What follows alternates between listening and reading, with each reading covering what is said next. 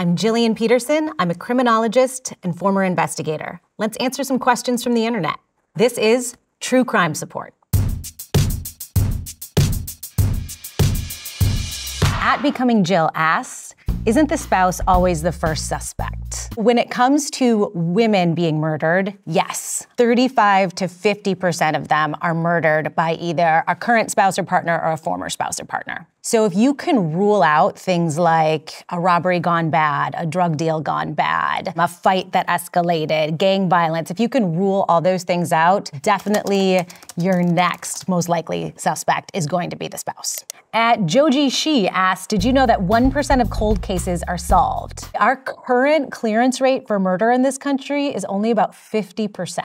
If you commit a murder, it's kind of flip of the coin whether or not you get arrested for it. Our clearance rates are way down down. I think it has to do with we've seen such an increase in homicide the last few years. And with that, we've had a decrease just in the number of police officers we have. Um, it's a lot more than 1% of cases that are unsolved. At Brother Grimbo asked, Did Jack the Ripper exist or was Victorian England just kind of stabby? Jack the Ripper did exist, committed a series of really violent, gruesome murders. So, as an example, just to show what it was like during that period of time, this is a news report from 1888. I think it really shows that Victorian England was a rather stabby place during this period of time. There's actually another serial killer who was operating at the time named Thomas Cream. He was convicted of poisoning nine or 10 people during the exact same period of time. During his execution, his final words are rumored to be, I am Jack, dot, dot, dot. Although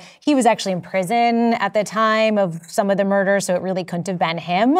And we still don't know exactly who Jack the Ripper is. At MSL Simpson asks, My sister just sent me a message to say that she listened to a podcast and is going off to try to solve a murder. Who needs the police? Yes, this is a thing where individuals listen to podcasts and they think, I can solve this. It's known as citizen sleuths. The January 6th riots, a lot of the individuals who ended up being criminally charged were identified by citizen sleuths on social media, trying to identify them. In the case of the Gabby Petito murder, who was killed by Brian Laundrie, her fiance, she was missing for a long period of time. It was really a group of young people on TikTok that started uploading videos of of the park where she went missing. The van was spotted, and they were really able to locate her body and isolate where she was located. However, if you talk to most police officers, they will say they do not like this movement of citizen sleuths, that oftentimes they can go down rabbit holes and end up accusing people who are truly innocent, and that can really destroy lives. At Nerman Man's 46302 asks, Why do serial killers kill? I want to study their brains so badly.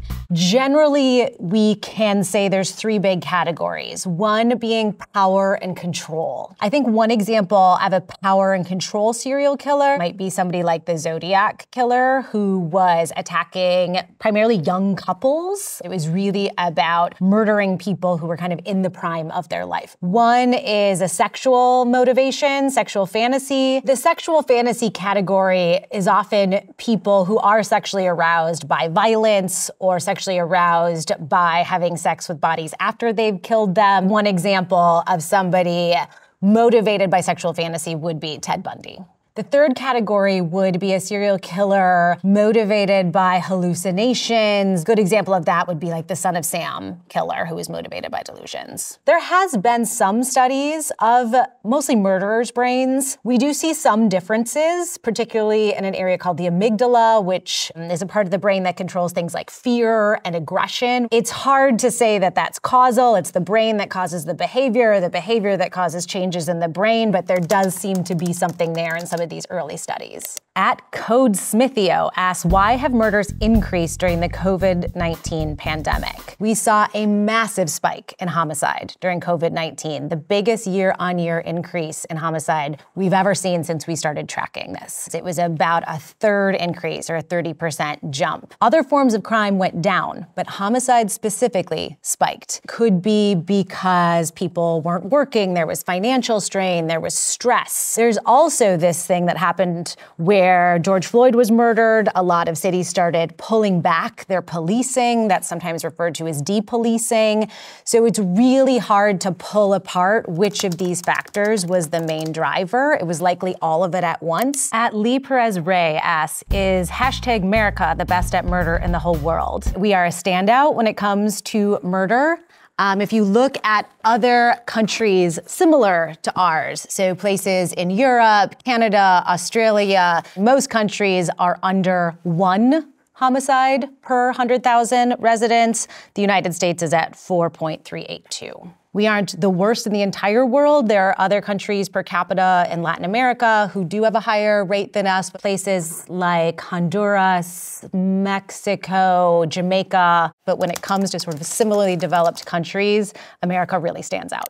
At Trisha McEwen 13 asks, could a psychopath grow through life without giving any sign, or will there always be something that is a giveaway, some we trait? Yes, you can go through life and not know that someone is a psychopath. You see high rates of psychopathy in industries like the entertainment industry, law enforcement, law, politics. Being a serial killer, being violent, committing crime is actually not one of the symptoms. It's what we tend to think of when we think of psychopaths. There really isn't anything like killing animals or setting fires that's going to be a tell. If I was going to name one thing that might be a giveaway, it would be a trouble reading other people's emotions and maybe mimicking back emotions without really feeling those emotions. At Thackeray Yardy says, okay, can someone please tell me the difference between a sociopath and a psychopath, please? There's really no clear distinction. Sociopath is a word that was used more in the 80s 80s and the 90s. It's used less today. It's used maybe by the media and in pop culture. But as the criminology field, we've really moved towards psychopathy being the thing that we look for, that we can define clinically, that we know how to test for. And so the field had just gone more in the direction of using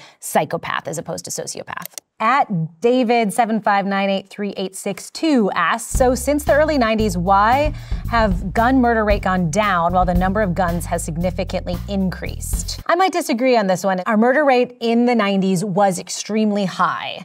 Then we did see a big dip in the 2000, 2010. So it was sort of high in the 90s, it went down. And then the last five years, and particularly last two years, we've really seen it spark back up again. During that period of time, gun ownership increased in this country over time, particularly the last couple of years. So we now have more guns than people in this country. About 120 Americans are killed by guns every day. That would include homicides, suicides, accidents, police shootings, but about 120 people total at the flying nipple asks, terrifying, I wonder how many unexplained missing persons there are. It's about half a million people a year go missing. That is down from maybe a million a year back in the 90s, but estimates are about 90% of them are found. Most of them are young people running away from home, but 10% of that half million missing still leaves 50,000 people who are missing and unaccounted for every year. CCJO1 asks, real question, what percentage of mass shooters are male? The answer is 98% of mass shooters are male. At Truth or Dare asks, my question about these mass shooters is this. Why schools? Whether it's an elementary, middle, or high school, what attracts you to kill children? About 91, 92% of them are actually students at that school. So this is people targeting their own school, or they might be former students, but most likely they're current students. They're 15, 16 years old. My own research shows that these perpetrators come from homes with lots of violence and abuse. They tend to study other perpetrators who are like them and feel like they're a part of them. And then they target their own school because that's where they have the grievance against. Those are the people that they blame for their misery. School shootings are designed to be final acts. So perpetrators go in knowing they're not going to come out of it. And in fact, they want to be known for this. They're craving that notoriety. They want their name in the history books. At Snack Time asks, Murdaugh Murders is such a crazy series on Netflix. Like, how in the world did these people get away with all of this? Alex Murdaugh has been convicted of killing his wife and his child. And there's also other murders that he may or may not be guilty of, including a housekeeper.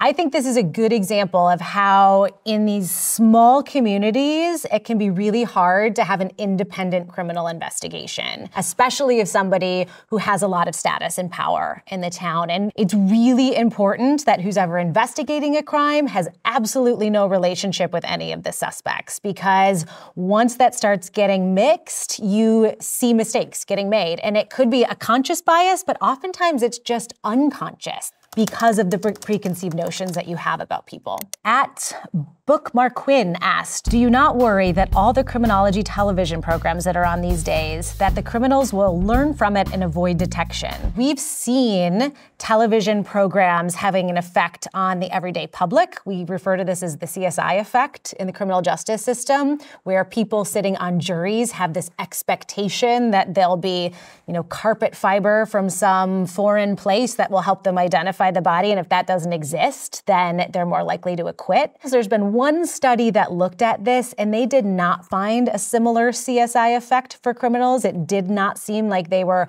learning from these programs and getting smarter at committing crimes, likely because a lot of crime is maybe impulsive and not that well planned out. So far, we are not seeing that. Next question. Who was America's most prolific serial killer? America's most prolific serial killer was named Samuel Little. He confessed to killing over 90 people. This is a series of mugshots of Samuel Little. He was arrested by the police for various crimes, but it was never put together that he was the one murdering all of these women. He committed murder from about 1970 until 2005. His victims tended to be sex workers, women addicted to drugs, women living on the streets, and his method was he tended to strangle these women. It wasn't until they eventually pulled Samuel Little's DNA that they were able to go back and connect him to all these previous crimes. And then he confessed all of them. He can be connected to, for sure, 50 or 60 or so of them, but they think that all 90 of his confessions are legit. Puppet Combo asks, what kind of job would a serial killer have? And if we look at patterns in the data, there are some jobs that emerge as maybe overrepresented. Things like mechanics, machinists, you see a number of truck drivers and police officers where it's maybe easier to get away with the crime. The data on serial killers is not great generally across the board just because there's so few of them and it's hard to study. At Tabzas asks, in light of the recent case of the nurse, are female serial killers more likely likely to be in caring professions than not. There's not that many female serial killers, but of them, there have been quite a few nurses. Uh, study recently published that looked at 16 different nurses who had committed serial murder across the globe and across centuries. And they did find that it tended to be poisoning and it tended to be go undetected for a long period of time because of the profession that they had. This recent case, I believe, is referring to the British nurse who was just sentenced for killing seven newborn babies. Another example of a serial killer nurse nurse is Kristen Gilbert, who is an American nurse who was convicted of murdering four of her patients that were in her care. I would not extend that to other caring professions. I don't think there's a lot of social work serial killers, but certainly when it comes to nurses, we see it. At PatDoc5 asks, what age do serial killers typically start killing people? It's actually older than other forms of violence. When it comes to serial killing, they start mid to late 20s, so it tends to be a bit of a later onset. At DLother715 asked two questions. Who was the Zodiac killer and why wasn't Ted Cruz ever caught? There's a lot of people who have been accused of being the Zodiac killer over time. Ted Cruz is not one of them. The Zodiac killer um, committed a series of murders in Northern California in the 1960s, at least five that they know of. There may have been more.